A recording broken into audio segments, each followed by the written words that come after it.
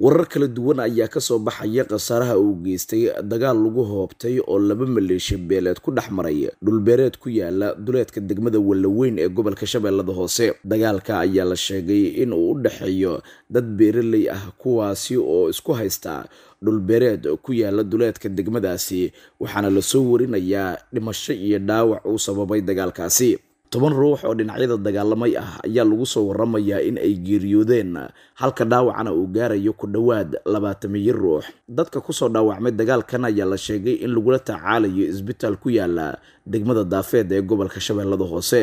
Guddoomiye ku-xigeenka maamulka iyo maaliyadda degmada wallaweyn ee gobolka shabeellada hoose cabdiqani maxamed xasan oo la hadlay shabeelle ayaa ka warbixiyey khasaaraha rasmiga ah ee ka dhashay dagaalkan iyo waxaa salka uu ku hayo subaxii ayaa danka kale la isqabsaday iyadoo uu dadaal badan oo maamulka degmada ku bixiyey habeen hore sidii markaasi loo joojin lahayo olaada aan subaxii wax dhibaata u dhicin. Marka shalay subaxii mar kale ayay isqabsadeen nasiibanaad xilli dambe aan ku guuleysanay inaan dagaalka joojino waxaa la isku hayo waxa waaye dhul dhul beereedaa la isku hayaa oo qolo walba ay leedahay dhulkan aniga taasaa sababtay in labada beel uu dagaal u dhex maro oo maxaa la dhahayo ay isku haystaan. Intii dhimashada waa tobaneeyo haddaysan maxaa la dhahayo shan iyo toban labaatankaba aysan gaarayn dhaawacna runtii qayb kamida degmada la soo gaarsiiyey qaybna meelihii kale oo muqdisho ugu horeyso lala gaari karaa lala gaaray. Marka dhimashada tobaneeyo ilaa iyo dhowr dhaawac ayaa jiro.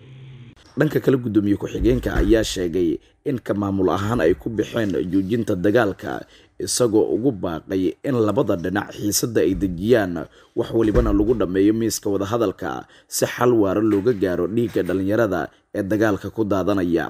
Ka maamul ahaanba guud ahaan waxaan ku baaqaynaa marka ugu horeyso in nabadda iyo wadajirka iyo wada degenaanshaha laga shaqeeyo in la isku duubnaado unbaa wax lagu gaari karaa.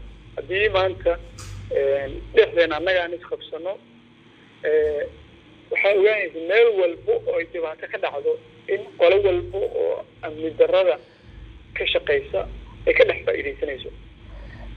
Wadanka sida ogtihiin xaalad abaar uu ku jiraa xaalad dagaal ku jiraa. Qabiilada maanta way iska rabsanayaan. Laakiin annagii walaalaha aheenoo wada degeneyn inaan maanta annagaa isku noqono annaga aan wada dirino runtii waa wax laga qorsoon yahay oo laga aan loo dulqaadan karin waaye. Marka anaga aniga labada qabiil midba aniga aan ka dhashay labada qabiilba waxaan ugu baaqaynaa inay miiska wadahadalka si degdega ugu yimaadaan. Gobasha maamulka degmada fidinaayo horena u ballan qaaday.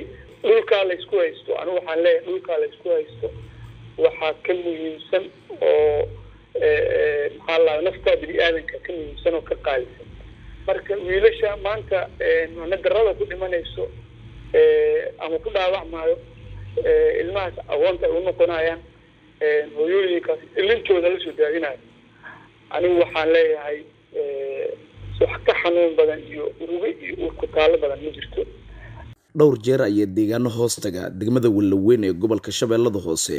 Waxaa ka dhacay dagaal beelidii u dhexeeyay laba maleeshiya beeleed kuwaasi oo ay ka dhasheen khasaare iskugu jira dhimashihii dhaawac. Walow maamulka koonfur galbeed ay ku guuleysteen in dagaaladaasi xal ay ka gaaraan. Xasan kaafi xaji maxamed shabeelle t v muqdisho